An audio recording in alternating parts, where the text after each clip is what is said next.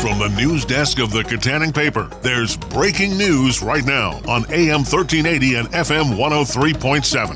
WTYM, Kittanning, Ford City.